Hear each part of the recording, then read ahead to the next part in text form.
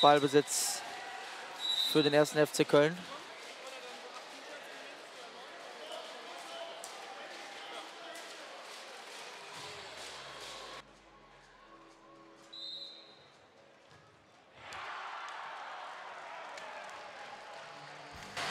Treffer für die Kölner.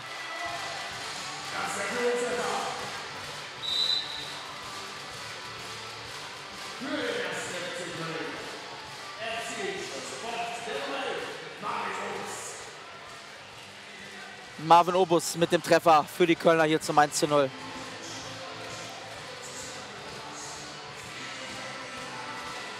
Ein nervenaufreibendes Viertelfinale hinter sich, der Schussversuch und da musste Luis Weber richtig hinlangen. da wird fröhlich mitgesungen. Der Kölner singt gerne. Das ist ja bekannt.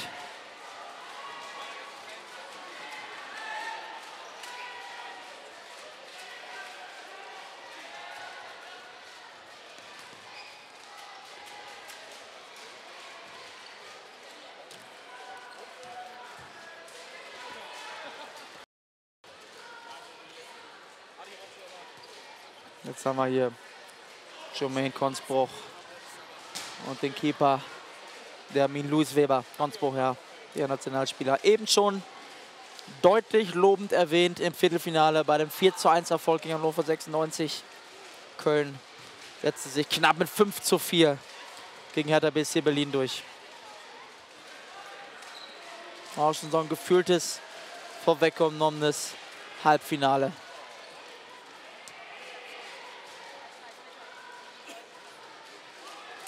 Leiter des Nachwuchsleistungszentrums in Bielefeld ja Finn Holsing, Sohn von Turniergründer Heinz-Dieter Holsing.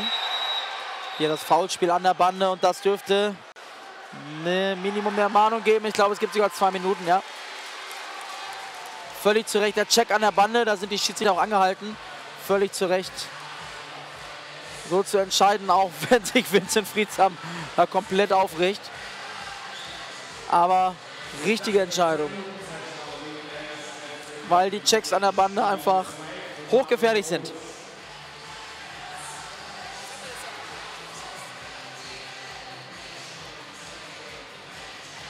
So, Bielefeld jetzt in Überzahl, haben den fünften Feldspieler auf die Platte geholt und haben jetzt alle Möglichkeiten in Überzahl das zu lösen. Dafür müssen sie natürlich sauber spielen, müssen sie klar und schnell spielen. Den Gegner immer wieder verschieben, sich nicht auf diese Scharmützel einlassen. Gut gespielt jetzt mit der Hacke. Kriegt er die nochmal rumgelegt? Nein, Ball geblockt. So, was macht Friedsam? Genau, erstmal Ball halten. Amina muss jetzt vorne Druck machen, richtig.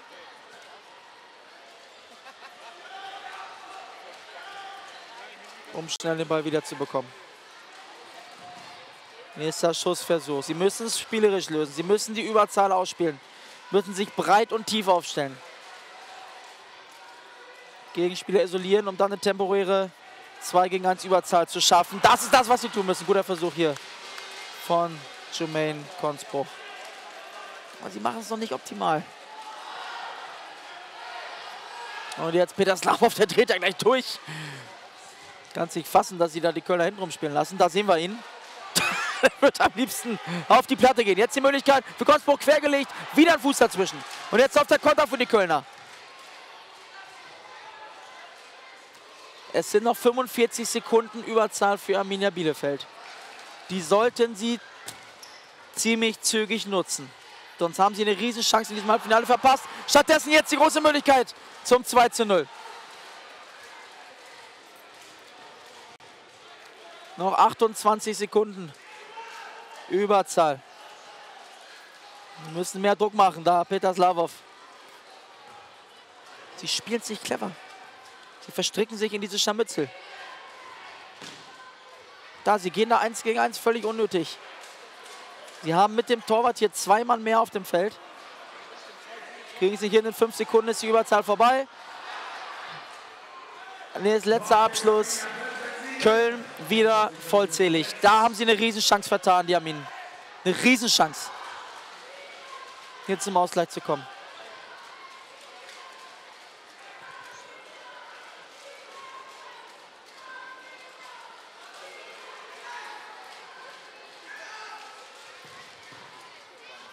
Nächster Schussversuch wieder geblockt.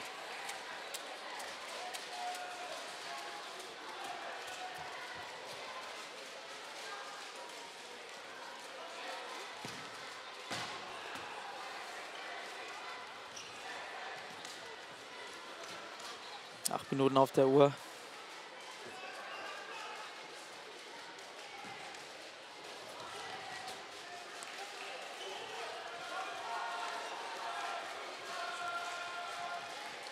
Bielefelder ja auch schon einige bekannte Cup-Spieler hier hervorgebracht, die beim Freeway Cup für die Arminia auf dem Platz standen. Tim Danneberg, Diego Demme, Michael Hundstedt, Robert Tesche, Max Wegner, die waren soweit da. Und hier die Anforderungsrufe vom Fanclub des 1. FC Köln. Jung und alt.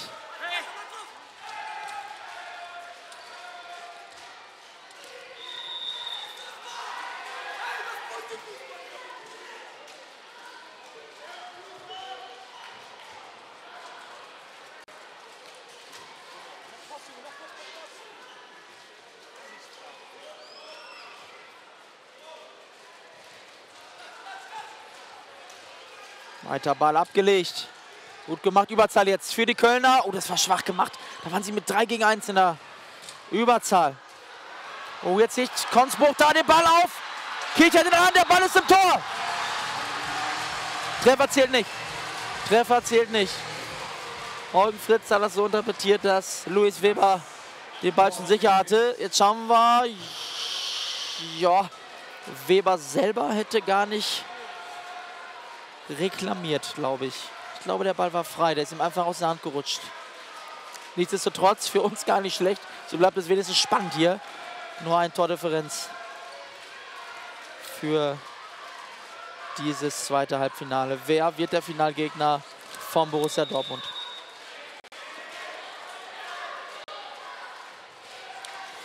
Auch Köln äh, einer Menge prominenter Spieler, die hier schon aktiv waren für den FC in den letzten Jahren. Das ist die 18. Teilnahme der Kölner.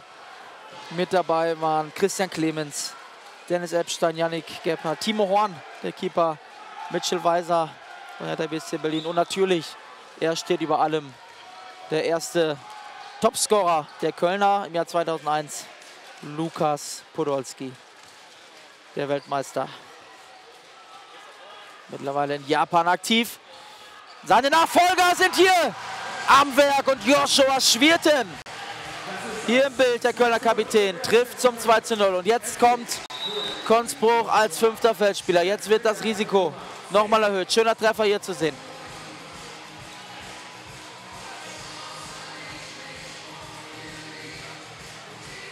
Der weite Ball wieder gut verteidigt von Dennis Dahmen.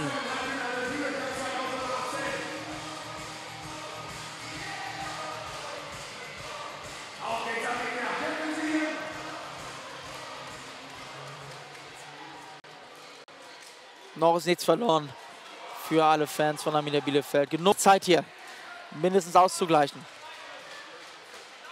Aber die Kölner marschieren jetzt. Klasse Versuch. Und dann ist der Kotzbruch, der kann auch Torwart.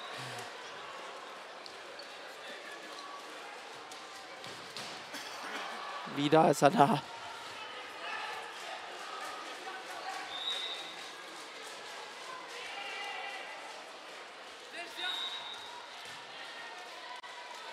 Tor zählt nicht. Spiel war schon unterbrochen. Ballbesitz für Arminia Bielefeld.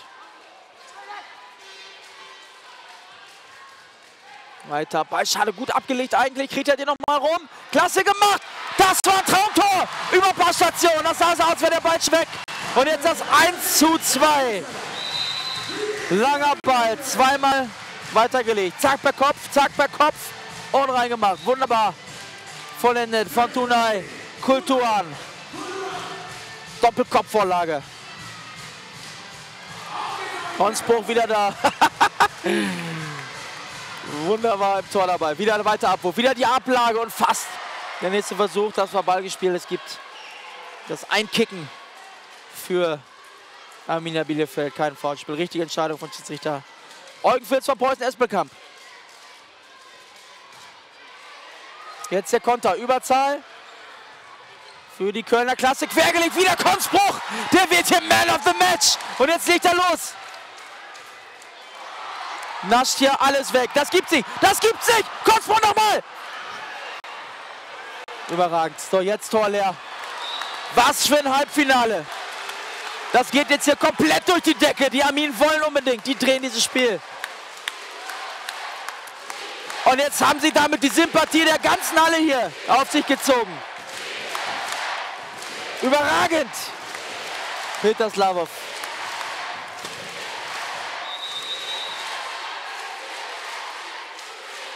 Da fehlt das Fähnchen der Arminia.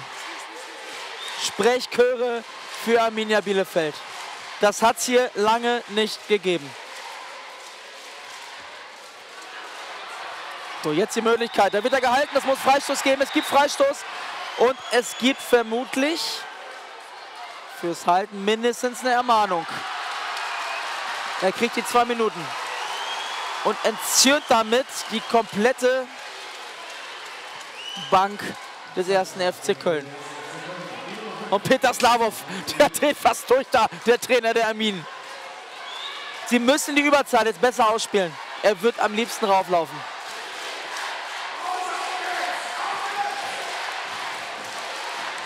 Da haben wir, der ist völlig ausgepumpt, der ist völlig on fire. Der will das hier mit aller Macht.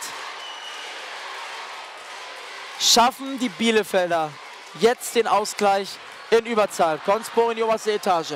Ich sage es nochmal, sie müssen die Überzahl ausspielen. Das haben sie eben verschenkt. Zwei Minuten noch zu gehen. Vorne Druck, dann mehr Fußball. Wieder ein unsauberer Ball, das kann aber gut gehen. Ja, Freistoß entschieden. Uhr ist angehalten, jetzt sehen wir es nochmal. Oh, nee. Da geht er ganz normal zum Ball und dann springt Vincent Friedsam mit allem was sagen, kommt einfach zu spät. Ralf Außen da, außer sich. Er klettert auch gleich über die Bande. Für mich war das nicht unbedingt ein Foulspiel. Jetzt gibt es die Anweisung da. Angemein Konspruch.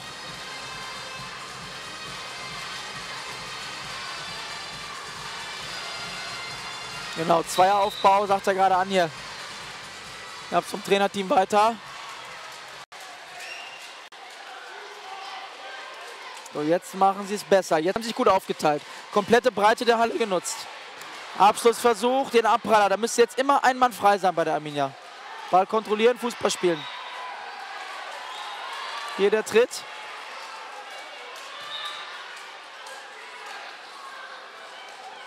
1,10 noch die Überzahl, 1,25 auf der Hallenuhr.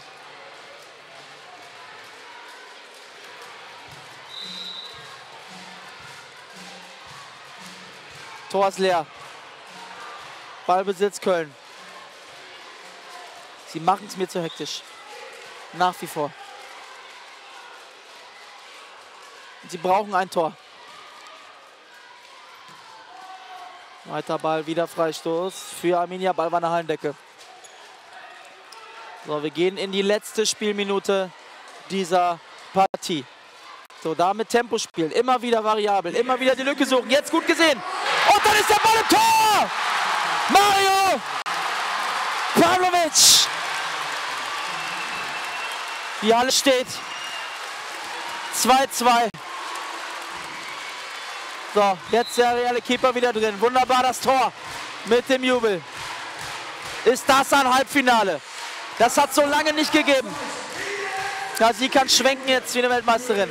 Letzte Minute, wir sind hier 2-2. Das wäre es fast gewesen. Tor war leer.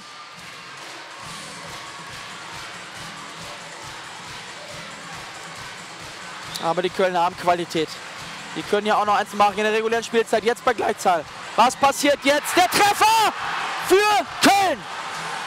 Und da sehen wir die Emotionen. Sebastian Papalia.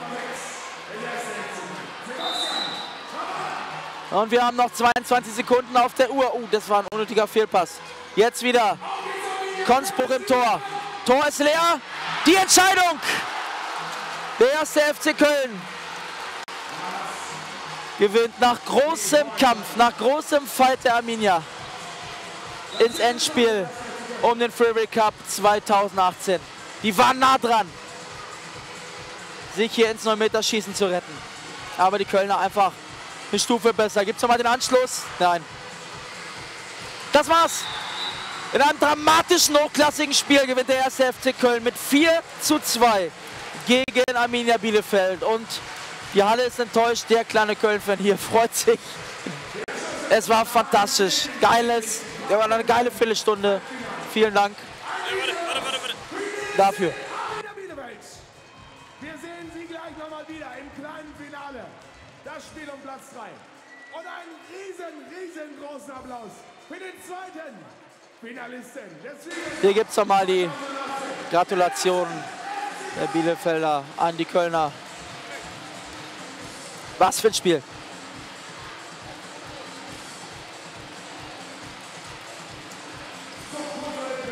Auch mit dem Betreuerstab wird da abgeklärt.